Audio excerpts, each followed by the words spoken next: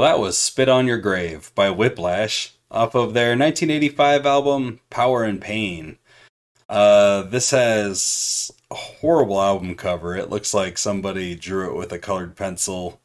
It looks like it was drawn by colored pencil. There's like a robot hand crushing a muscly dude's head. Um, the logo up top is probably about the best looking part of it. The album logo looks bad, like not colored in all the way. Or maybe there's texture for, I don't know, guts or something. Like it's supposed to be intestines. The song was sweet. That was a pretty cool song, and the sound was good. Solid.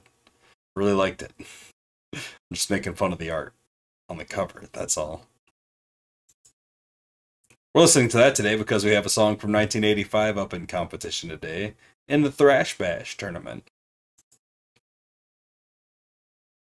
Hi, my name is Bean, and you're watching Battle of the Band.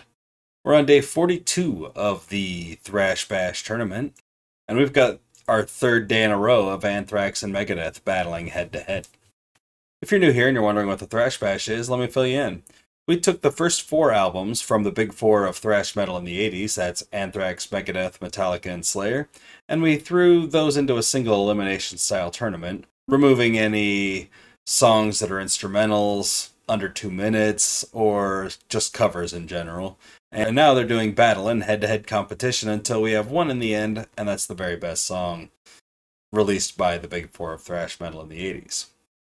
First up today, we're going to be listening to Peace Sells, which is kind of the title track off of Peace Sells, but Who's Buying, uh, which was released in 1986 by Megadeth. This is the third track on the album, and it's a way of. It's Mustaine's way of dispelling stereotypes about the band and heavy metal fans in general. Um, Mustaine says that metal fans are not lazy, they're not anti government, and they're not anti religion. And this song is that statement.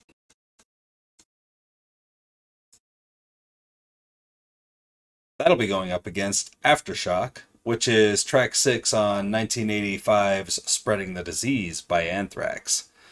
Uh, Genius.com doesn't have any information on this song, so we'll just have to listen along and see what kind of um, translation we can get on our way through.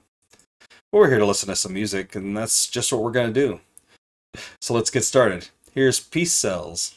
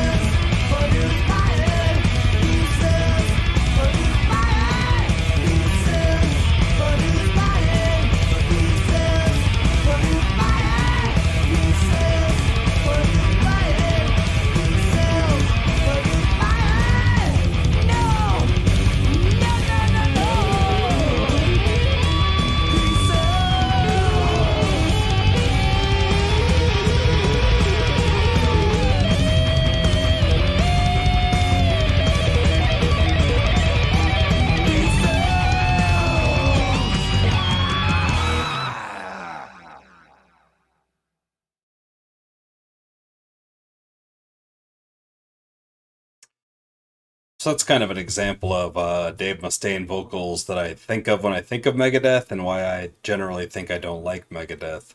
I don't like those vocals. Um, okay, song. Definitely not my favorite on that album so far. Let's check out Anthrax's Aftershock.